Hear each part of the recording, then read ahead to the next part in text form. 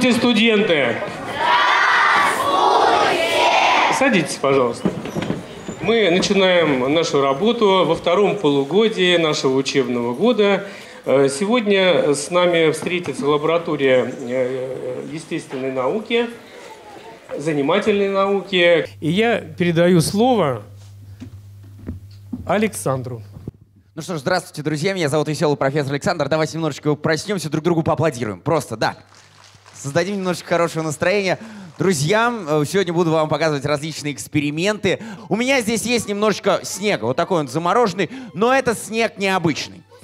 Так, а ну-ка, дорогие друзья, теперь давайте о нем немножко поговорим. Вы абсолютно правы, это сухой лед. Сухой лед — это замороженный углекислый газ. Где вы встречали углекислый газ? Вот э, тут уже должна быть... по- В газировке, абсолютно верно, дорогие друзья. Итак, внимание. Каждый, кто хоть раз в жизни пил газировку, есть тут такие?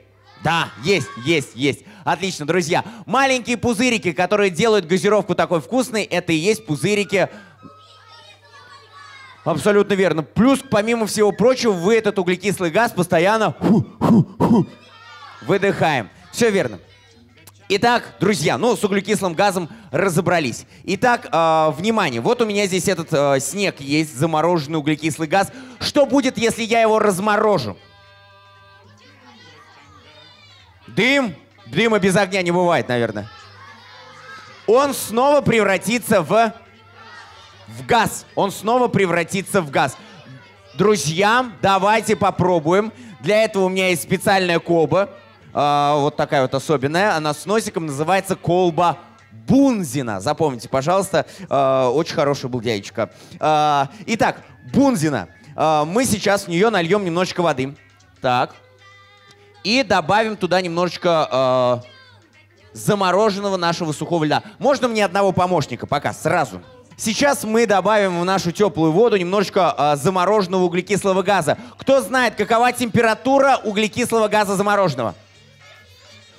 У, минус 273, дорогие друзья, это абсолютный ноль, это то, что в космосе. Холоднее в жизни не бывает. Здесь, конечно же, чуть-чуть теплее, но однако, дорогие друзья, температура замороженного углекислого газа составляет минус 79 градусов.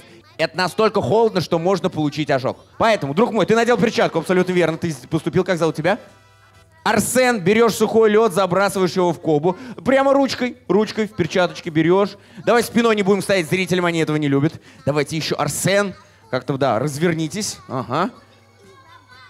Пара, хорошо. Давайте не, не жадничайте. Арсен прям берем, добавляем. Побольше. Арсен, у вас перчатка, вы не получите ожог, не переживайте. Можете брать, забрасывать смелее. Итак, дорогие друзья, начинает происходить некая реакция. И что же мы с вами видим? А? Дым. Дыма без ог- без огня не бывает. Пар. То есть что это такое? Углекислый газ. Вы мне только что сами... Вы вообще газировку-то пили? Пузырики прозрачные в газировке. Вы постоянно выдыхаете углекислый газ. Ху-ху-ху. Что-нибудь видно? Ху. А? Нет. Дорогие друзья, углекислого газа в воздухе половина процента. Фу, ничего не видно.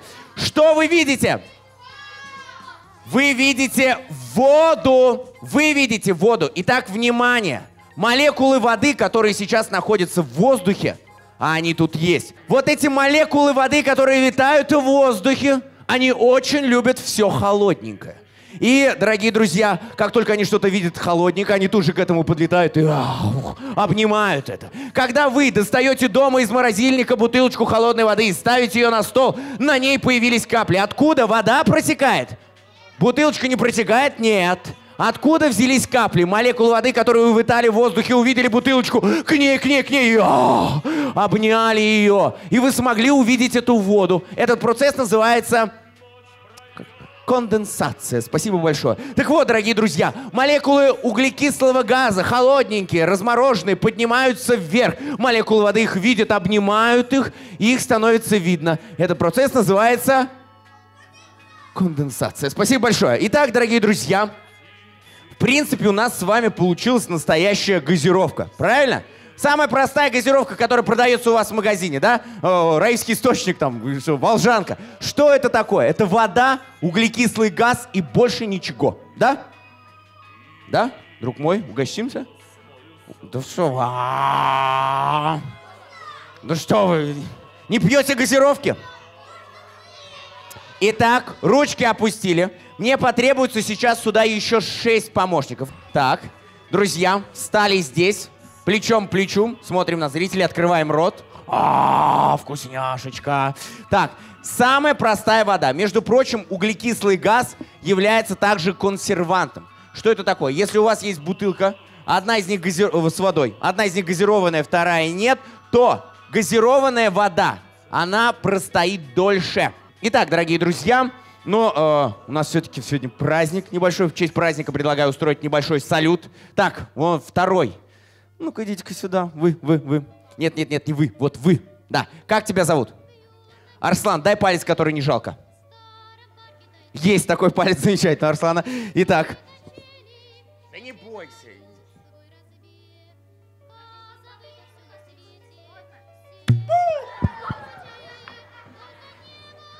Тут обычно звучат аплодисменты. Ну, такой мини-салют. э, Можно даже крикнуть громко «Ура!». Давайте еще раз попробуем. Мы второго добровольца.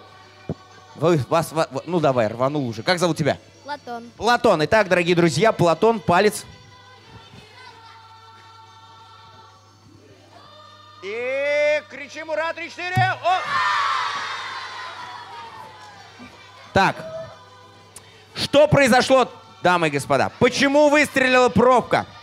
Давление, вы абсолютно правы. Итак, внимание. Молодой пока без спроса ничего не берем, подождите. Итак, дорогие друзья, когда газ заморожен, он занимает очень мало места. Но когда их размораживают, они начинают друг друга отталкивать. Вот это и произошло, дорогие друзья. Молекулы стучались в колбу, в стенки колбы. Говорили, выпустите, нам тут тесно. Нас тут размороженных все больше и больше.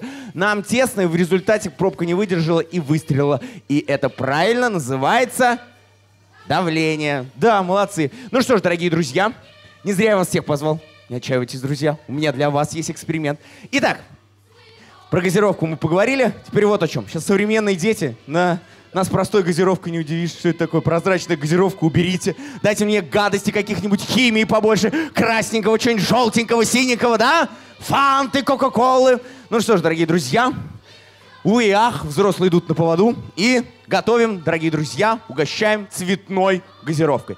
Для этого мне, дорогие друзья, с вами предстоит вспомнить про такое понятие, как спектр. Что такое спектр? Ну, спектр это э, 7 цветов радуги. Тут белый цвет раскладывается на 7 цветов, да? Да. Да. Белый цвет раскладывается на 7 цветов. Ну, я думаю, что с садика все помним. Каждый охотник. Где сидит фаза? Где каждая первая буква это какой-то цвет. Но, любители порисовать, знаете ли вы, что все 7 цветов радуги можно получить из трех цветов? Ну-ка, на сцене кто-нибудь знает эти цвета? Да, слушаю вас. Красный, желтый, зеленый. А-а-а, зеленый нет, синий, абсолютно верно. И как ни странно, все эти цвета у меня сегодня здесь есть. Итак, все три цвета, а нас с вами, как удачно, сколько человек? Семь. Попытаемся приготовить цветной газировки. Итак, дорогие друзья, у нас есть э, три колбы. В каждую из них я сейчас покрашу красителем.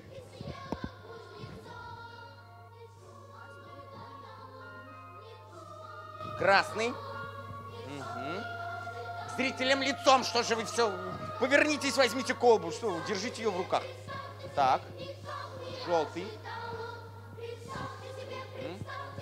И синий. Так, вы втроем, сюда. Быстренько, быстренько, молодые люди, давайте, давайте, давайте, давайте. Не задерживаем. Итак, у нас есть три основных цвета, не хватает Четырех, да. Итак, поехали. Друг мой, держите это вам. Теперь, дорогие друзья, давайте вот о чем поговорим. Поговорим вот про этого молодого человека. А точнее, про тот цвет, который у него находится в руках. Это цвет синий. Если бы вы жили лет 300 назад и обладали бы синим красителем, вы бы все были богачами. Почему? Для того, чтобы раздобыть синий краситель, раньше нужно было потратить очень много сил.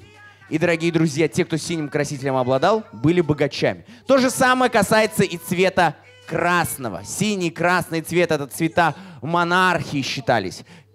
Ну, подождите, доберемся мы до пурпурных. Итак, дорогие друзья, но произошло чудо, техническая революция.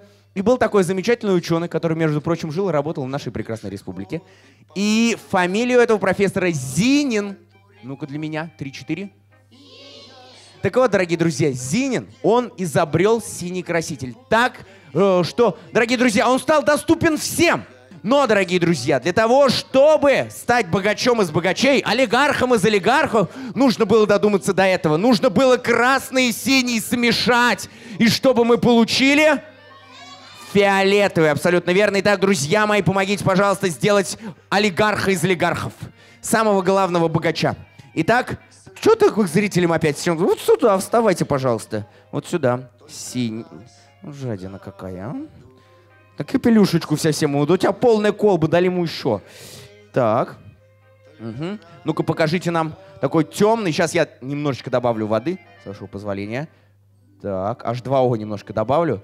Итак, какой цвет получился, покажите нам. Фиолетовый. Аплодисменты. Пока в стороночку. Отдыхаем, идем дальше. Каких цветов еще не хватает? М? Оранжевый. Оранжевый. Ну это просто, да, все знают. Для того, чтобы получить оранжевый цвет, нужно... Красный и желтый. Красный и желтый. Где не спим, друзья мои, помогаем. Опять зрителям встал. Ты куда Тут сбоку. Вот, учимся, тренируемся. Возможно, кто-нибудь из вас когда-нибудь станет преподавателем. Друзья, надо сразу себя тренировать, потому что к аудитории нужно всегда стоять нужными частями тела, да? Так, покажите, пожалуйста, какой цвет получился. Оранжевые аплодисменты в стороночку. Золотистый. Так, какого не хватает? Зелененький. Для того, чтобы получить зеленый. Синий и желтый. Вы пока в стороночку. Синий и желтый. Так, синенького. Ну давай, не жадничай. Что ж ты... Ну ты смотри, все себе, все себе. Я тебе не оставлю ничего. Все заберу. Покажи, пожалуйста. Ну-ка, жадина, иди сюда. Думает, домой заберет, наверное. Ну вот. Какой цвет? Аплодисменты. И вы. Какого цвета не хватает? Голубой. Чтобы получить голубой, что нужно смешать? А у меня нет белого. Да, разбавляем, друзья мои, синий цвет. Для этого у меня есть самое замечательное вещество, которое разбавляет. Это H2O, вода. Итак, давайте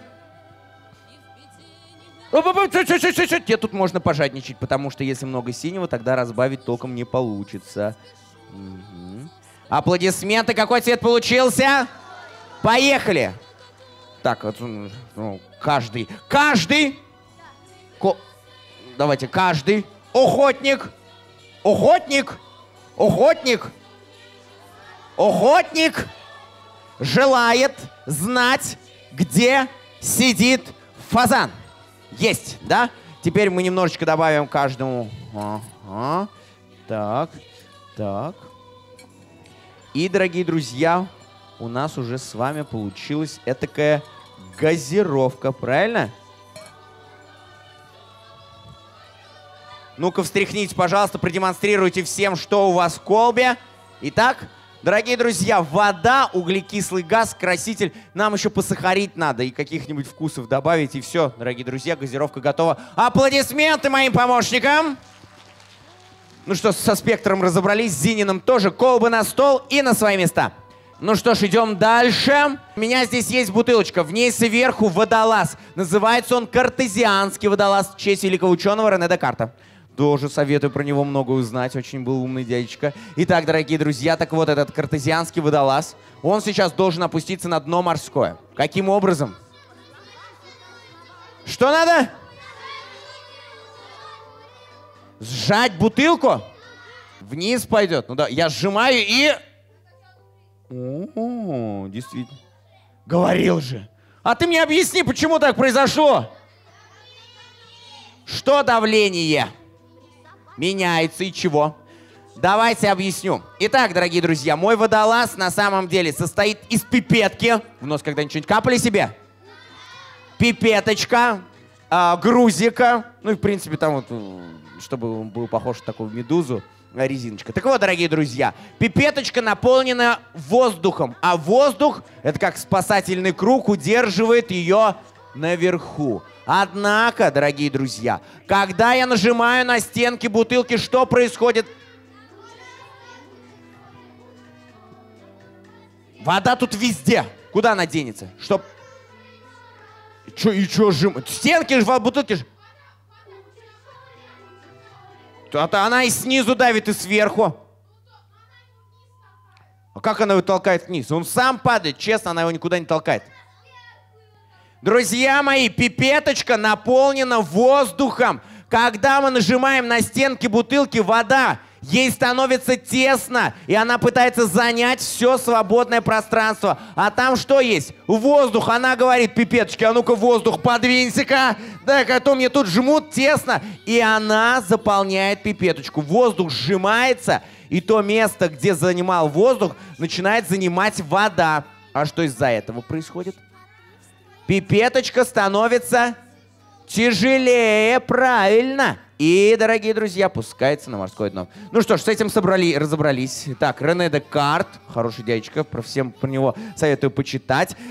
Давайте поговорим еще по одному дядечку. А, итак, дорогие друзья, а, что у меня в руках? Бусы, абсолютно верно. Причем называются они бусы Ньютона. К несчастью, Ньютон никогда у нас не жил, не работал, но дядя был очень умный. Изобрел одно из самых великих открытий у него было, это сила притяжения Земли. Ну, по легенде говорят, что ему на голову упало яблоко, хотя, конечно, это только красивая легенда. Итак, Исаак Ньютон открыл силу притяжения Земли. Мне потребуется один помощник. Итак, идет она, бежит ко мне сюда, моя помощница. Итак, как зовут вас еще раз? Ксения. Ксения. Ксения, вы спортом каким-нибудь занимаетесь? Танцы, ну это тоже спорт. Итак, Ксения, мышцы свои покажите, пожалуйста, нам только. О, о, ну что вы, дайте потрогать. Так, ого, ну неплохо, неплохо. Итак, Ксения, у меня здесь бусы Ньютона. Не то, чтобы они Ньютону принадлежали, я их в Ашане купил, но они названы в честь него. Итак, если ты дернешь за один конец этих бус, сколько метров ты сможешь вытянуть? У меня здесь 10. Все. Все? То есть как бы половину кто-то считает. А ну-ка еще раз мы что давай. Что вы мне не верите, что ли? О. Все. Половину. Кто-то половину по-прежнему. Не верят в тебя, Ксения. Давай будем их разубеждать. У тебя всего одна попытка. Бегать нельзя.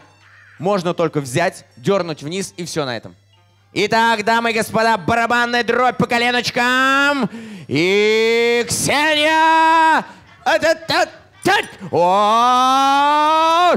Кто сказал все, а? а? Аплодисменты Ксении! Кто сказал половину, друзья мои? Как вы заблуждались? Но на самом деле Ксении помогло вытянуть все бусы не только ее, ее сила танцев, да? Было две силы. Две силы. И одна из них — это сила притяжения Земли, которую открыл Исаак Ньютон. Но заметьте, что сила притяжения Земли действовала и до того, пока она дернула, и, в... и после. Она вообще всегда действует. Была вторая сила. И эта сила называется красивым словом инерция. Итак, дорогие друзья, инерция. Вы все обладаете этой силой. Потому что вы все сколько-нибудь весите. Когда вы сегодня в 7 утра лежали дома, Мама говорила, вставай в университет. Мама, я инертный. А -а -а. Для того, чтобы заставить двигаться ваши 20, 30, 40 килограмм, нужно применить силу, чтобы вас куда-то растолкать. Потому что вы инертны, вы лежите, находитесь в состоянии покоя. Дорогие друзья, аплодисменты Ксении, аплодисменты всем, кто отвечал. Большое спасибо. Надеюсь, что с танцами все будет на 5 с плюсом. Итак, движемся дальше, дорогие друзья. А, забыл сказать, что и силу притяжения Земли, и силу инерции открыл один человек. Исаак Ньютон. Поэтому он считается одним из величайших физиков всех времен и народов. Друзья мои, тоже советую познакомиться с ним поближе. У него очень интересная биография, он много сделал великих открытий. Продолжаем. Да, дорогие друзья, Про лекарства надо помнить кое-что очень важное. Любое лекарство в малых количествах, может быть, нас и вылечит. Но в больших количествах это практически всегда яд. И то же самое про перекись водорода. У нас с вами дома перекись водорода трехпроцентная, а значит 3 из 100. Очень слабый раствор. Как? У меня здесь, да, 33% перекись водорода. В 10 раз сильнее, в 10 раз концентрирование. Не выдавай меня, друг! Подожди, пожалуйста. Итак, дорогие друзья, вот если такая перекись водорода попадет вам не то, что не то, что на ранку, а просто капнет на кожу, у вас будет ощущение, как будто вас исхлестали крапивой. Причем раз здесь сильнее, вы получите самый настоящий химический ожог. Поэтому нужно быть очень аккуратным с этим раствором. Итак, с ним я проведу очень интересный эксперимент. Для этого я возьму немножко перекиси водорода.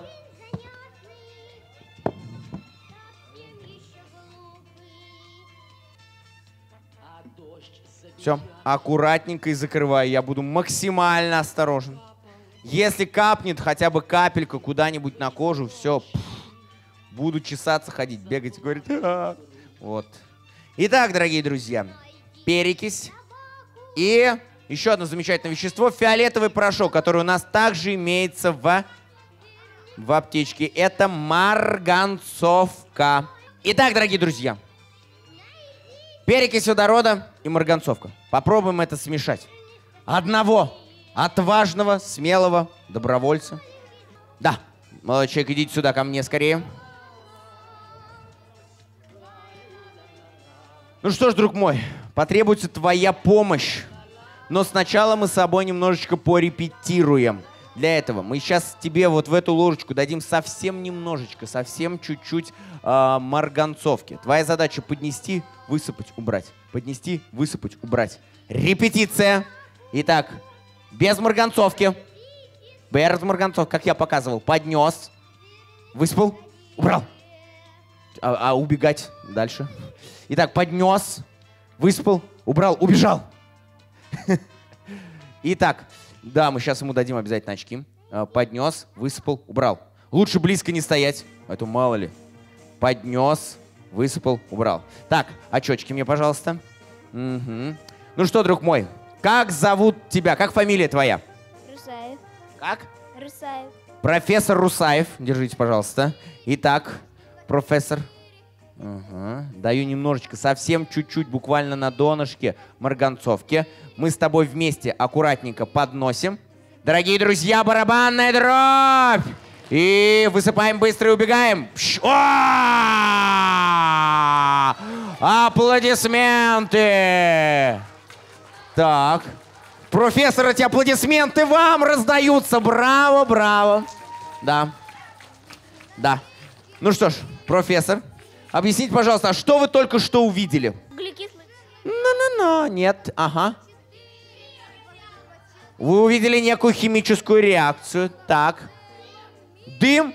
Огня-то не было, опять же. А? Итак, друг мой, друзья мои, внимание, внимание!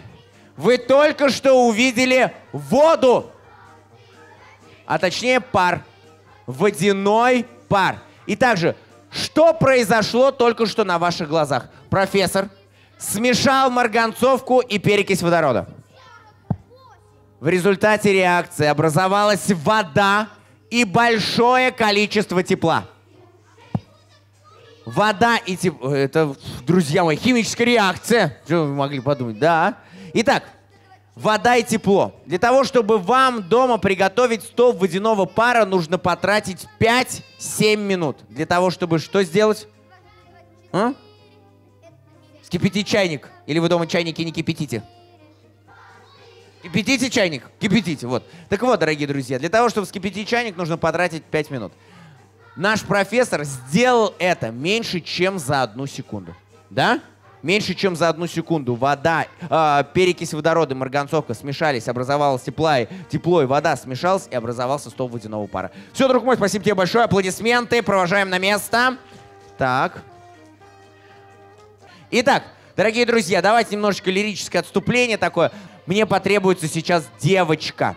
Девочка мне потребуется. Да, идите сюда, пожалуйста. Итак, расскажем мы вам сейчас одну татарскую сказку про добрую падчерицу. Как зовут? Фарида. Добрая падчерица Фати- Фарида и злая мачеха, пусть будет Фатима. О, а, а, это я. А, итак, э, злая мачеха Фатима решила извести добрую падчерицу Фариду. А, а, а, и дала ей невыполнимое задание. Она заставила ее натаскать домой, домой, воды из реки. И сделать это нужно в решете. Что такое решето, знаем? В ней просили, у меня нет решета, у меня есть баночка, и в ней вот ситочка. Сейчас покажу.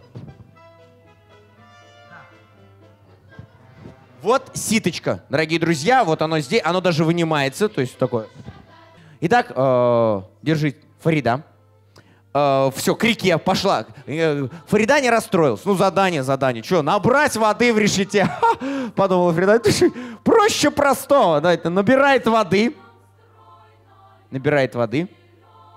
Ну, У тебя, э, ты, ты баночку-то полную набери, что... Ты можешь прям руку засунуть туда вместе с банкой. Вот. Ну, у тебя же была не банка, у тебя же решето, так что переворачивай. Понесла домой. Что ты понесла в банке? Где вода, Фарида? Иди отсюда, не пущу домой! Так, набрала снова воды. Перевернул, у тебя ведь не, не банка, у тебя решето. А! А! Сдается мне, Фарида, до зимы будешь возить мне воды? Так, переверну. Ну, перевер... Давай хотя бы вот здесь перевер... Пошла домой.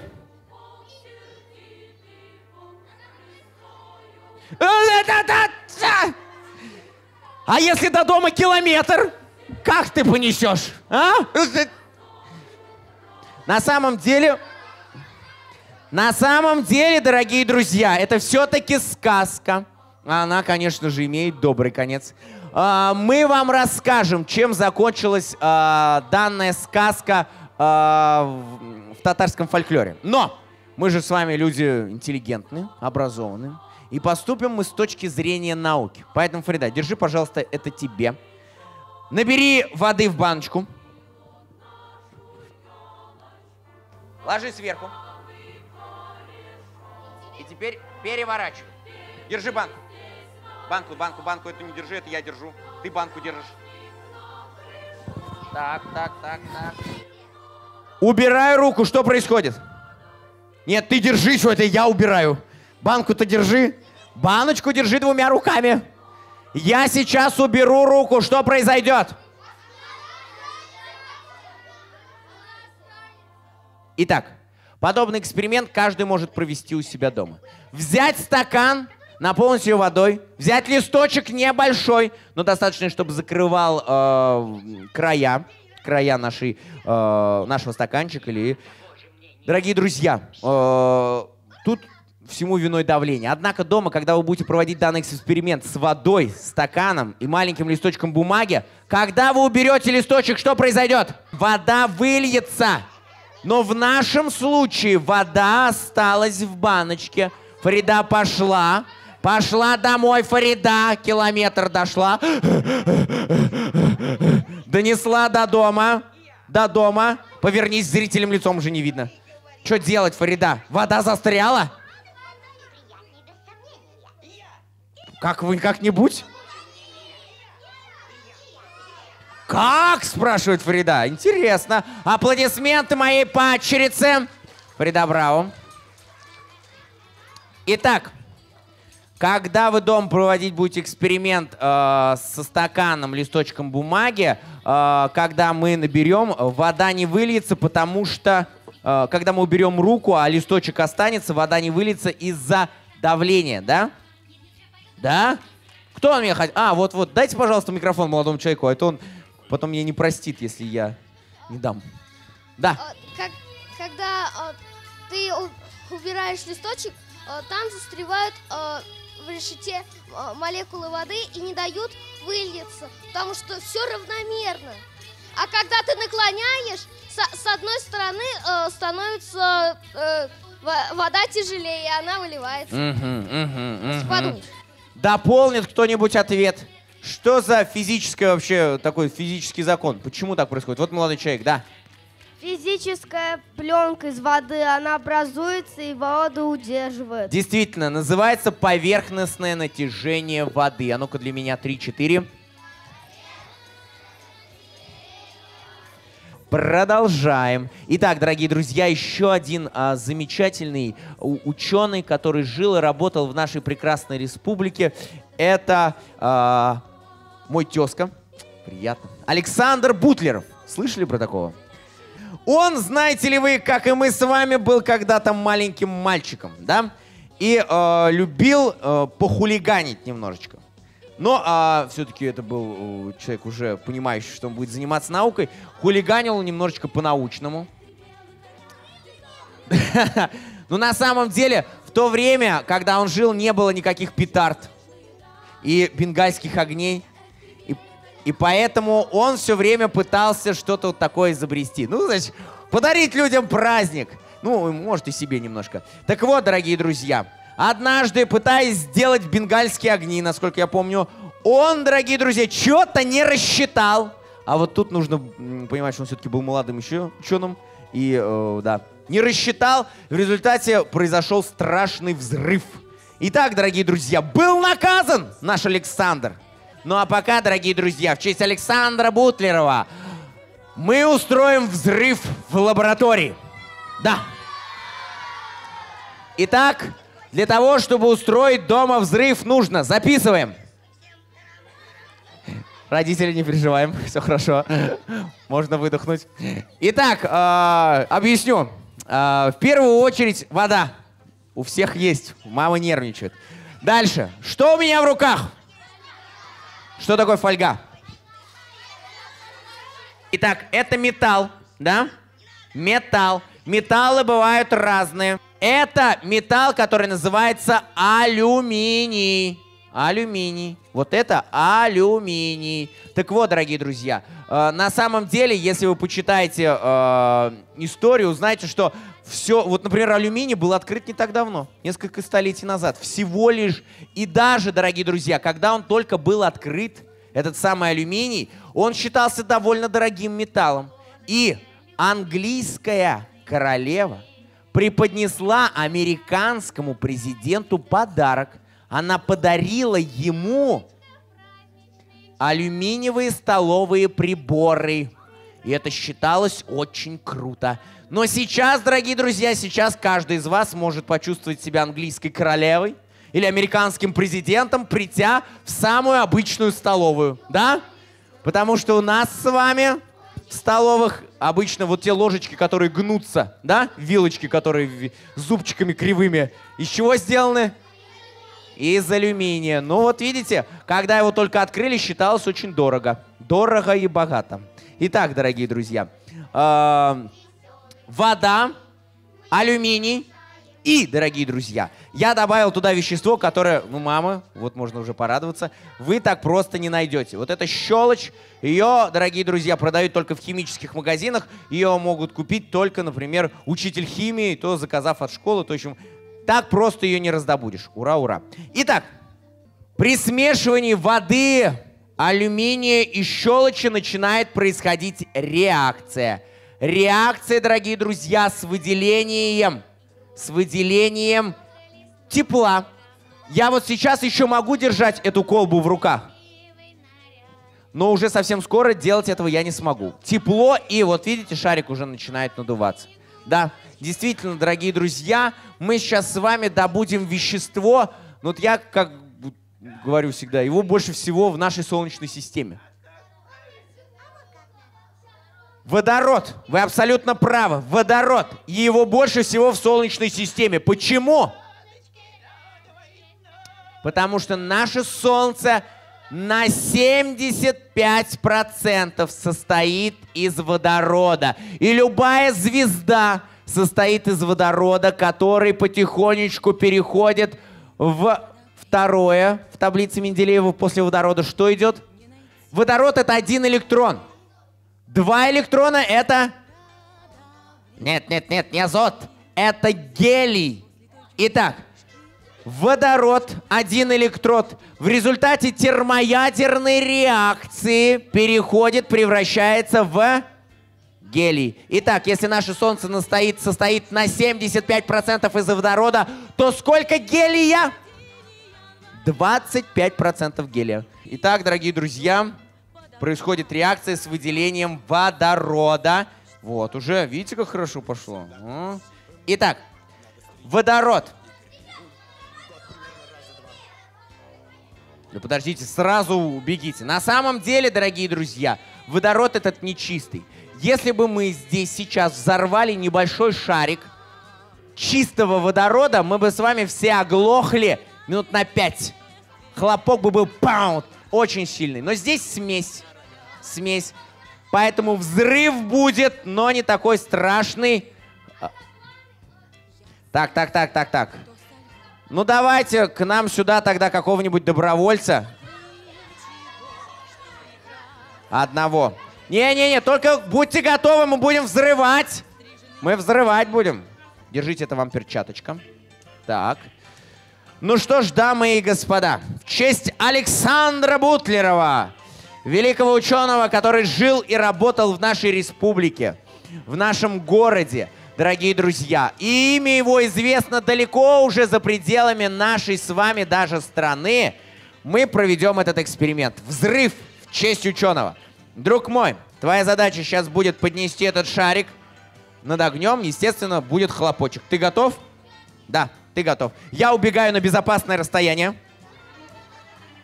Я с тобой, не переживай. Итак, дамы и господа, в небо поднимается красивый дирижабль. Люди слушают музыку и веселятся. Вот лучше за конечек. И неожиданно на небе появилась маленькая тучка. Она становится все больше и больше. И вот закапал дождик, блеснула первая молния. И... Да, взрыв! Аплодисменты Бутлерову Александру и моему помощнику. Да, спасибо большое.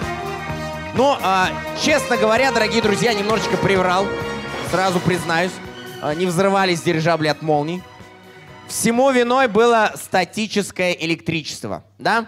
Накапливало заряд, да, это вот когда мы здороваемся друг с другом, нам бамс ударило током, да? Бывает же такое? Мы что, почему накапливаем заряд? Вот то же самое происходило с дирижаблями. Но, дорогие друзья, вот решено было отказаться все-таки от них. А зря. Представляете, в школу на дирижабле. А? Классно бы было. Да. Ну что, аплодисментами провожаем моего помощника. Ну что ж, дамы и господа, увы и ах, но сегодня на этом эксперименты мои подошли к концу. Если понравилось, можно поаплодировать еще немножко, на этот раз мне. Спасибо. Ребята, и скажем нашему ученому Александру спасибо. Три-четыре. Спасибо.